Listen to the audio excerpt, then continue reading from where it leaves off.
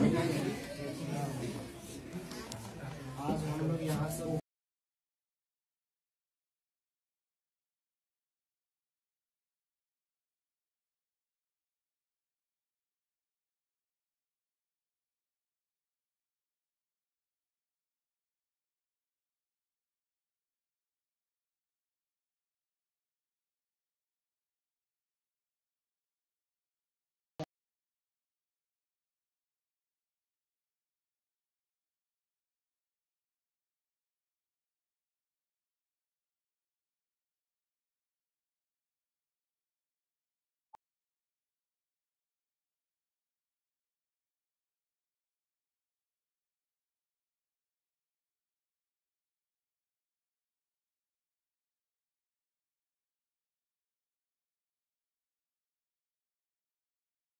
पहले आ रहा है। उसी प्रश्न का पहले जवाब लिखेंगे, ना? और स्टार्टिंग में ही जो है मतलब थोड़ा सुंदर राइटिंग जितना अच्छा लिखिएगा, ठीक है?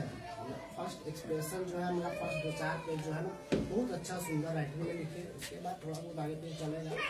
क्योंकि जो चेक करने वाला होता है ना तो वो आपका एक्सप्रेशन देखता है, किस प्रकार से, किस ढंग से बच्चा जो है इसका आंसर दिया ना और आगे कुछ उसमें थोड़ा बहुत अगर गलती भी होता है तो उसको रिलेट करके चल जाता है ना और आपको मार्क्स जो है दे देते हैं ठीक है और ये भी हम कहना चाहेंगे कि किसी भी कार्य को करने के लिए आपको पहले तो संकल्प लेने की आवश्यकता है जैसे मानिए आपको टेंथ क्लास एग्ज़ाम है तो इसके प्रति आपका संकल्प होना चाहिए कि हम एग्ज़ाम में जाकर और अच्छे से लिखें ताकि हम अच्छे नंबरों से पास कर ठीक है?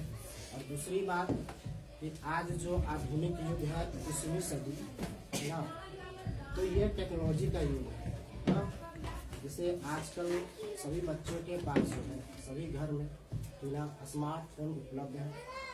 तो ऐसा देखते हैं कि बहुत सारे बच्चे जो हैं मतलब एग्ज़ाम के टाइम नज़दीक आ जाता है। भी जो है स्मार्टफ़ोन में अपना बिज़ी रहते हैं ना? तो हम कहना चाहेंगे कि हम ये नहीं कह रहे कि मतलब आप टेक्नोलॉजी से दूर हो जाइए ना? टेक्नोलॉजी और आपका एग्जामिनेशन टाइम ये दोनों के बीच का जो है संतुलन बना कर रखना है टेक्नोलॉजी का उसी प्रकार से आप उपयोग करें, जो आपके लिए लाभदायक हो, ना कि हानिकारक ठीक है?